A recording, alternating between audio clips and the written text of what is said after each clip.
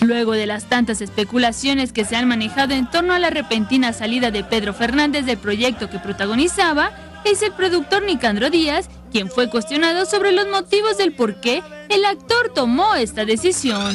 No lo sé, señorita, desconozco. La información que ustedes tienen y que ustedes les dio es la misma que sé yo. Nunca tuve una plática, eh, eh, siempre me habló en los términos que, lo hizo, como lo hizo con ustedes, y yo no tengo conocimiento de algo diferente, es, conozco la misma información. En cuanto a los fuertes rumores sobre el verdadero motivo que llevaron a Pedro a decirle adiós a su trabajo debido a los celos de su esposa, esto nos dijo.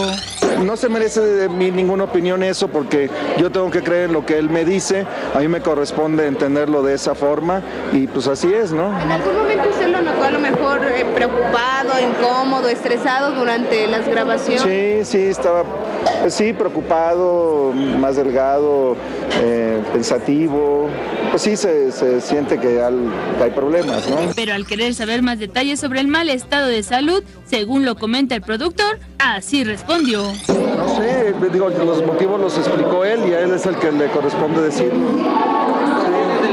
Yo no, sube yo no supe nunca otros diferentes de los que él mismo me dijo. Pero acaso el protagonista de la película de la niña de la mochila azul no se verá perjudicado legalmente debido a su decisión de abandonar el proyecto.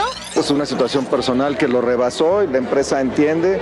Antes que nada es una compañía humana y pues todo sigue para adelante. Informó Olga La Chiqui Chavarría. Adolfo Infante, suscríbete a nuestro canal de YouTube y entérate antes que nadie de lo que hacen tus artistas favoritos. Empieza ahora mismo dándole clic a estos videos.